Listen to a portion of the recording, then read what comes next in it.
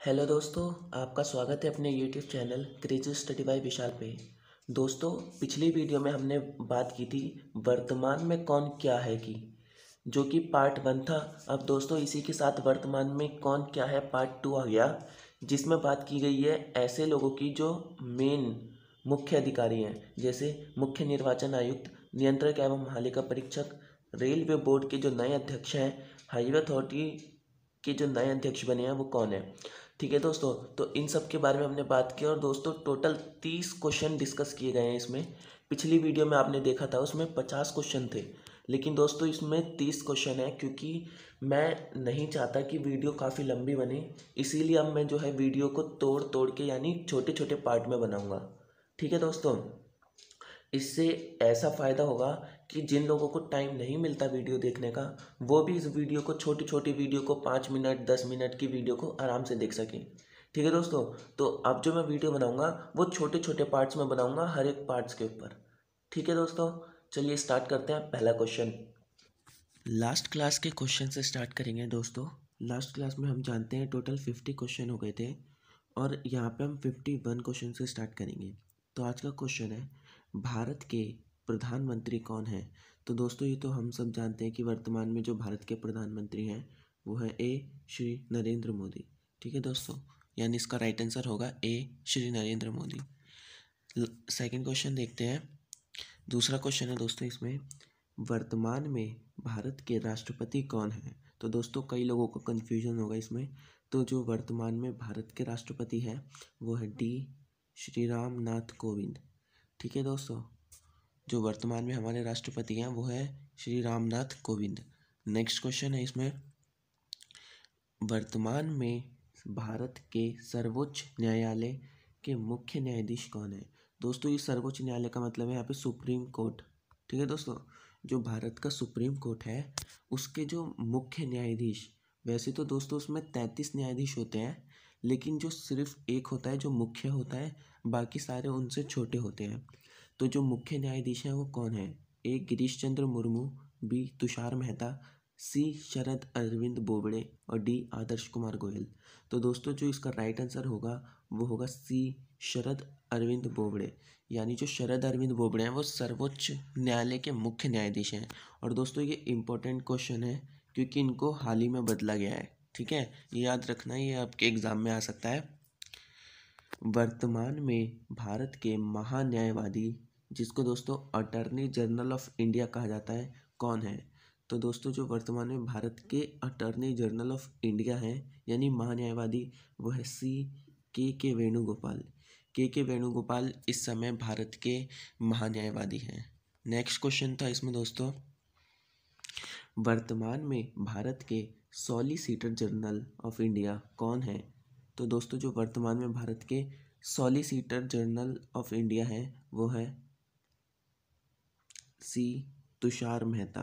यानी दोस्तों, तुषार मेहता वर्तमान में भारत के सॉलिसिटर जनरल ऑफ़ इंडिया हैं। ठीक है दोस्तों, नेक्स्ट क्वेश्चन है इसमें।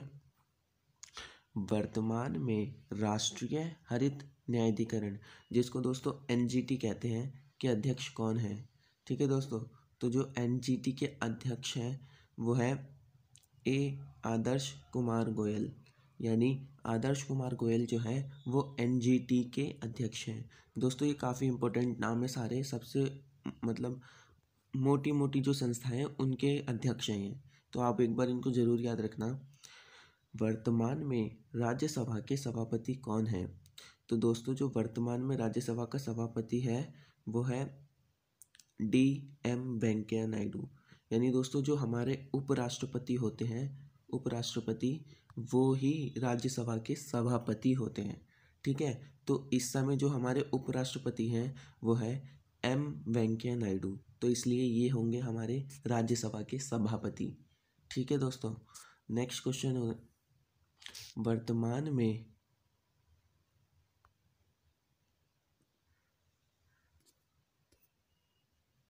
ठीक है दोस्तों? नेक्स्ट क्वेश्चन है, वर्तमान में राज्यसभा के उपसभापति कौन है? दोस्तों, राज्यसभा में दो लोग होते हैं। एक होता है सभापति, एक होता है उपसभापति। ठीक है दोस्तों? एक होता है सभापति और एक होता है उपसभापति। हमने पढ़ा कि सभापति तो होता है भारत के उपराष्ट्रपति। ठीक है? और जो उपसभापति होगा, वो राज्यसभा में चुना जाएगा लोगों के द्वारा। तो जो इस समय भारत के राज्यसभा के उपसभापति हैं, वो है डी हरिवंश नारायण सिंह। यानी दोस्तों, हरिवंश नारायण सिंह इस समय राज्यसभा के उपसभापति हैं। ठीक है दोस्तों इम्पोर्टेंट क्वेश्चन है। नेक्स्ट क्वेश्चन है इसमें दोस्तों, वर्तमान में राज्यसभा के महासचिव कौन है? तो दोस्तों, इसमें बताना है जो राज्यसभा है, उसके महासचिव कौन है? आपके ऑप्शन है A Charan Singh Atra B Uday Kotak C Desh Deepak Verma और डी अरविंद कुमार। तो इस समय दोस्तों जो राज्यसभा के महासचिव हैं, वो हैं सी देश दीपक वर्मा। यानी देश दीपक वर्मा इस समय राज्यसभा के महासचिव हैं। नेक्स्ट क्वेश्चन है। वर्तमान में राज्यसभा के विपक्ष के नेता कौन हैं? तो दोस्तों जो इस समय वर्तमान में राज्यसभा के विपक्ष के नेता हैं, वो है बी गुलाम नबी आज़ाद। यानी दोस्तों, जो गुलाम नबी आज़ाद है, वो इस समय राज्यसभा के विपक्ष के नेता है। एक होता है सत्ता पक्ष का नेता, एक होता है विपक्ष का नेता। तो जो विपक्ष के नेता है, वो है गुलाम नबी आज़ाद। ठीक है? नेक्स्ट क्वेश्चन है इसमें। वर्तमान में राज्यसभा के सत्ता पक्ष के नेता कौन है? ठीक है दोस्तों अभी मैंने आपको बताया विपक्ष, एक होता है सत्ता पक्ष एक होता है विपक्ष। सत्ता पक्ष का नेता वो होता है जिसकी सरकार होती है और विपक्ष का नेता वो होता है जिसकी सरकार नहीं होती। ठीक है दोस्तों? तो इसमें ऑप्शन आपको चार ऑप्शन दे रखे हैं और जो इसमें से राइट आंसर होगा, वो होगा सी थावर चंद गहलोत। यानी जो थावर चंद गहलोत है, ये वर्तमान में राज्यसभा के सत्ता पक्ष के नेता हैं। ठीक है? नेक्स्ट क्वेश्चन है इसमें दोस्तों। वर्तमान में लोकसभा के अध्यक्ष कौन हैं? तो दोस्तों, वर्तमान में लोकसभा के अध्यक्ष जो हैं, वो है सी. ओम बिरला। यानी जो लोकसभा 2019 थी, उसके जो अध्यक्ष चुने गए, वो ओम बिरला चुने गए थे। ठीक है दोस्तों, ये भी इम्पोर्टेंट और ये कई बार पूछा गया है एग्ज़ाम में कि लोकसभा के अध्यक्ष कौन है, वो भी करंट अफेयर में पूछा गया है। सबसे बड़ी मेन बात नॉट स्टैटिक जीके में। ठीक है दोस्तों नेक्स्ट क्वेश्चन देखते हैं। वर्तमान में लोकसभा के विपक्ष के नेता कौन हैं? तो दोस्तों, मैंने अभी बताया कि राज्यसभा के सत्ता पक्ष के नेता होते हैं, विपक्ष के नेता होते हैं। तो वैसे ही लोकसभा के भी विपक्ष के नेता होते हैं और सत्ता पक्ष के नेता होते हैं। ठीक है दोस्तों, जो लोकसभा के विपक्ष के नेता होंगे, वो होंगे सी. अधीर रंजन चौधरी। ठीक है दोस्तों, ये सब आप दोस्तों एक बुक पे नोट करते रहना जो आपकी रिवीजन में काम आएगा। और एक बार अगर आपने इसको याद कर लिया और फिर इसको बार बार आप पढ़ोगे तीन तीन, चार चार दिन के गैप में तो पक्का ये आपको याद हो जाएगा, आपको फिर दोबारा इसको पढ़ने की ज़रूरत नहीं पड़ेगी। बस एक बार आप इसको अच्छी तरह थोड़ा सा रट लें और फिर उसके बाद इसको हर तीन दिन, चार दिन, पाँच दिन में इसको एक बार पढ़ें। आपको मैं सौ परसेंट गारंटी देता हूँ कि ये आपको याद हो जाएगा। ठीक है दोस्तों? नेक्स्ट क्वेश्चन देखते हैं। वर्तमान में लोकसभा के महासचिव कौन हैं? तो दोस्तों, जो लोकसभा के महासचिव हैं, वो अभी चेंज हुए हैं और उनका नाम है उत्पल कुमार सिंह। यानी उत्पल कुमार सिंह जो वर्तमान में लोकसभा के महासचिव हैं और ये बहुत इम्पोर्टेंट क्वेश्चन है। और ये दिल्ली पुलिस के एग्ज़ाम में पूछा गया है। तीन तीन बार पूछा गया ये अलग अलग शिफ्ट में। ठीक है दोस्तों? तो इसका नाम ज़रूर याद रखना आप। ये अभी चेंज हुए हैं दिसंबर के महीने में। ठीक है? नेक्स्ट क्वेश्चन देखते हैं दोस्तों। वर्तमान में भारत के मुख्य निर्वाचन आयुक्त कौन है? तो दोस्तों, जो वर्तमान में भारत के मुख्य निर्वाचन आयुक्त है, वो है सी डी सुनील अरोड़ा। यानी दोस्तों, जो राइट आंसर होगा, वो ये होगा। जो सुनील अरोड़ा है, वो वर्तमान में भारत के मुख्य निर्वाचन आयुक्त हैं। नेक्स्ट क्वेश्चन है दोस्तों। वर्तमान में नियंत्रक एवं महालेखा परीक्षक, जिसको दोस्तों कैक कहा जाता है, यानी controller auditor general of India, कौन है? तो दोस्तों, जो वर्तमान में नियंत्रक एवं महालेखा परीक्षक है भारत के, वो है बी. गिरीश चंद्र मुर्मू। यानी दोस्तों, जो सी जी है, वो है गिरीश चंद्र मुर्मू। नेक्स्ट क्वेश्चन है दोस्तों। वर्तमान में भारत के महालेखा नियंत्रक सी जी ए कौन है? अभी दोस्तों हमने कैग पढ़ा था, कंट्रोलर और and auditor general of India. अब ये है सी जी ए तो जो वर्तमान में भारत की सी जी ए है, वो है ए सोमा राय वर्मन ठीक है दोस्तों नेक्स्ट क्वेश्चन देखते हैं। वर्तमान में रेलवे बोर्ड के अध्यक्ष कौन हैं? तो दोस्तों, आपके पास ये चार ऑप्शन है। A. Vivek Yadav, B. Sunit Sharma, C. Ajay Tyagi और डी. रविंदर भाकर। दोस्तों, हो सकता है कई लोगों ने इस पर क्लिक किया हो, बट जो ये हैं, ये अब हमारे रेलवे बोर्ड के अध्यक्ष नहीं रहे हैं। जो अभी चेंज हुए हैं और जो बहुत इम्पोर्टेंट है, वो है ए. बी. सुनीत शर्मा। यानी दोस्तों, इनको अभी जनवरी के महीने में चेंज किया गया है और अब पहले कौन थे? विवेक यादव थे, वी. के. यादव। लेकिन अब ये नहीं रहे हैं, अब बना दिया गया है सुनीत शर्मा को। तो दोस्तों, ये बहुत इंपॉर्टेंट क्वेश्चन है, जिनका एग्ज़ाम इस महीने में है या अगले महीने में है, उनको थोड़ा ध्यान देना चाहिए इस बात पर। करंट में एक नंबर में ये ज़रूर पूछ सकता है। नेक्स्ट क्वेश्चन है दोस्तों। वर्तमान में भारतीय प्रतिभूति एवं विनिमय बोर्ड। दोस्तों, जिसको सेबी कहा जाता है, सेबी के अध्यक्ष कौन है? तो आपके चार ऑप्शन है दोस्तों, और जो इसमें से राइट आंसर होगा, वो होगा डी अजय त्यागी। यानी अजय त्यागी वर्तमान में सेबी के अध्यक्ष हैं। ठीक है नेक्स्ट क्वेश्चन देखते हैं जल्दी।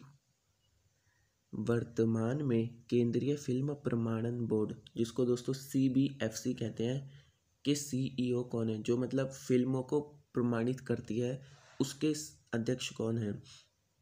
तो दोस्तों जो C B C B F C के अध्यक्ष हैं। वह सी रविंदर भाकर और ये नाम इम्पोर्टेंट है आपके लिए क्योंकि इनको भी हाल ही में बदला गया था। ठीक है दोस्तों? तो इनका नाम याद रखना C Ravinder Bhakar. Next question है दोस्तों। वर्तमान में केंद्रीय समाज कल्याण बोर्ड यानी सी एस डब्ल्यू बी के अध्यक्ष कौन हैं? तो दोस्तों जो सी एस डब्ल्यू बी के अध्यक्ष हैं, वो हैं बी अजय तिरके। ठीक है? नेक्स्ट क्वेश्चन देखते हैं। वर्तमान में केंद्रीय प्रत्यक्ष कर बोर्ड, जिसको दोस्तों सी बी डी टी कहा जाता है, के अध्यक्ष कौन है?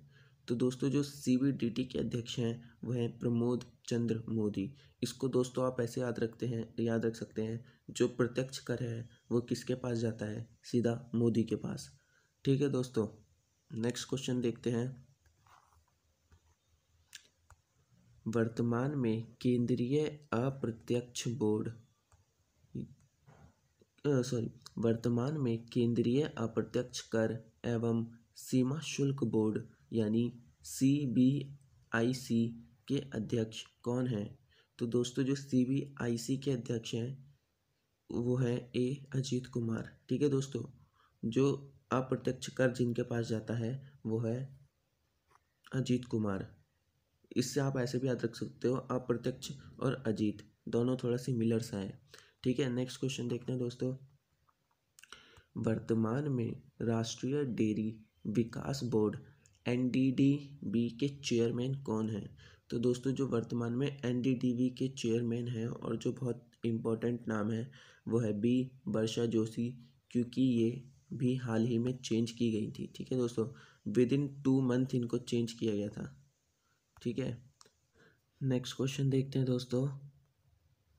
वर्तमान में कंपनी कानून बोर्ड, जिसको सी एल बी के नाम से जाना जाता है, के अध्यक्ष कौन है? दोस्तों, ये चार ऑप्शन है आपके पास, और इसमें से जो राइट आंसर होगा, वो होगा ए महेश मित्तल कुमार। यानी वर्तमान में कंपनी कानून बोर्ड के जो अध्यक्ष हैं, वो है महेश मित्तल कुमार। नेक्स्ट क्वेश्चन देख लेते हैं दोस्तों जल्दी से।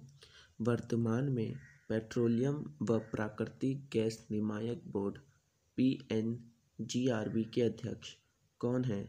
तो दोस्तों, जो वर्तमान में P N G R V के अध्यक्ष हैं, वो है दिनेश सर्राफ। यानी इसका राइट आंसर होगा, वो होगा डी नेक्स्ट क्वेश्चन देखते हैं दोस्तों जल्दी से। वर्तमान में ट्राई जिसे भारतीय दूर संचार विनिमायक प्राधिकरण, यानी जिसे ट्राई कहते हैं के अध्यक्ष कौन है? तो दोस्तों, आपके पास एक और इम्पोर्टेंट नाम आ रहा है, जो ट्राई के अध्यक्ष हैं, वो हैं सी पी डी बघेला और ये इम्पोर्टेंट है, क्योंकि ये कई बार पूछा जाता है, और ये सबसे ज़्यादा इम्पोर्टेंट इसलिए है, क्योंकि इसको within two month change हुए हुए हैं। यानी दो महीने के भीतर ही इनको चेंज किया है। तो आप ये नाम याद रखना, जिनका मार्च अप्रैल में पेपर है, ठीक है? और ख़ासकर सी एच एस एल वाले बच्चे ध्यान दें इस पर। नेक्स्ट क्वेश्चन जो है उसमें, वर्तमान में भारतीय विशिष्ट पहचान प्राधिकरण के सीईओ कौन है? यानी दोस्तों यू आई डी आई जिसको हम आधार कार्ड कहते हैं बेसिकली वही पूछा है कि उसके सीईओ कौन है? तो दोस्तों जो यू आई डी ए आई के सीईओ है, वो है बी पंकज कुमार। यानी इसका राइट आंसर होगा बी, पंकज कुमार, जिसमें दोस्तों नेक्स्ट क्वेश्चन है। वो है, वर्तमान में भारत के महापंजीयक एवं जनगणना आयुक्त। यानी दोस्तों, जो जनगणना कर, जनगणना आयुक्त होता है, वो कौन है? तो आपके चार ऑप्शन हैं और जो इसमें राइट आंसर है, वो है दोस्तों सी विवेक जोशी। यानी विवेक जोशी वर्तमान में भारत का महापंजीयक एवं जनगणना आयुक्त है। ठीक है नेक्स्ट क्वेश्चन है और लास्ट क्वेश्चन है दोस्तों। वर्तमान में भारत के लोक लेखा समिति के अध्यक्ष कौन है? तो दोस्तों, जो वर्तमान में भारत की लोक लेखा समिति है, उसके अध्यक्ष हैं ए. अधीर रंजन चौधरी। यानी अधीर रंजन चौधरी वर्तमान में भारत की लोक लेखा समिति के अध्यक्ष हैं। तो दोस्तों, ये आज के क्वेश्चन पूरे हुए। ये शॉर्ट वीडियो मैंने बनाई है। मैं पहले सोच रहा था कि 200-300 क्वेश्चन एक साथ प्रोवाइड करा दूँ, लेकिन किसी के पास टाइम होता है और किसी के पास टाइम नहीं होता। कुछ लोग काम करते हैं और कुछ लोग पढ़ाई करते हैं सिर्फ़। लेकिन दोस्तों, अब मैंने क्या सोचा है, मेरे दिमाग में एक आइडिया है कि अब मैं ये बीस, पच्चीस, तीस मिनट या एक घंटे, दो घंटे की वीडियो ना बनाऊँ। अब मैं सिर्फ़ टॉपिक वाइज क्वेश्चन बनाऊँ। जैसे दोस्तों आपका टॉपिक है महारत्न कंपनियाँ। तो मैं उसमें सिर्फ़ महारत्न कंपनियों के बारे में बताऊँगा कि कौन कौन सी महारत्न कंपनी है, कितनी महारत्न है, कितनी नवरत्न है और कितनी मिनी रत्न है। ठीक है दोस्तों, पहली नव महारत्न कब बनी, महारत्न अवार्ड कब से दिए जाने लगे, किसको महारत्न दिया जाता है, इस एक टॉपिक के बारे में पूरी जानकारी दूँगा दोस्तों आपको। जब आपके पास पूरी जानकारी होगी तो आप खुद समझ सकते हैं कि आपकी जो तैयारी है, वो किस लेवल पर होगी। किस लेवल पर होगी। ठीक है दोस्तों? तो नेक्स्ट टाइम से जो है मैं ये शॉर्ट वीडियो बनाऊँगा, छोटी वीडियो टॉपिक वाइज जैसे दोस्तों, मेरा टॉपिक था महारत्न। तो टोटल जो महारत्न कंपनियाँ हैं, वो दस हैं और इन दस कंपनियों के बारे में मैं आपको बताऊँगा कि कौन कौन सी कंपनी है। नवरत्न कंपनियों के बारे में बताऊँगा कि जो चौदह नवरत्न कंपनियाँ हैं, वो कौन कौन सी हैं। ठीक है दोस्तों, मिलते हैं नेक्स्ट वीडियो में। और दोस्तों इससे पहले की वीडियो ज़रूर देखना, क्योंकि वो भी बहुत इम्पोर्टेंट है। चलो, मिलते हैं नेक्स्ट वीडियो में। दोस्तों, अगर आपको वीडियो पसंद आई तो वीडियो को लाइक करें शेयर करें, और चैनल को दोस्तों सब्सक्राइब ज़रूर करें।